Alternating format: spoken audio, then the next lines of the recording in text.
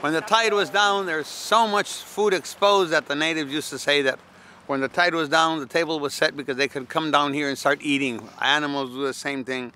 There's clams, there's oysters, there's mussels, there's a little fish, there's algae. Everything is edible here. Well, within bounds. You can get green, any green plant can have has vitamin C. Every green plant, from those to these to these, everything. So these have it, but some of them are poisonous and some are not, and some even taste good.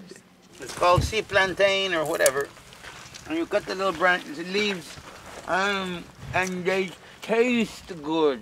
Short walks with William are awesome. He knows everything there is to know about plants and bear poop. Uh, he knows the plants, but he's a naturalist, and he brings it very humor-like.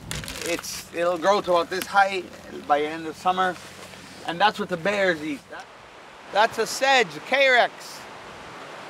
And I'm gonna pass it around so you can touch the three sides, but that's why it said sedges have edges and grasses are round.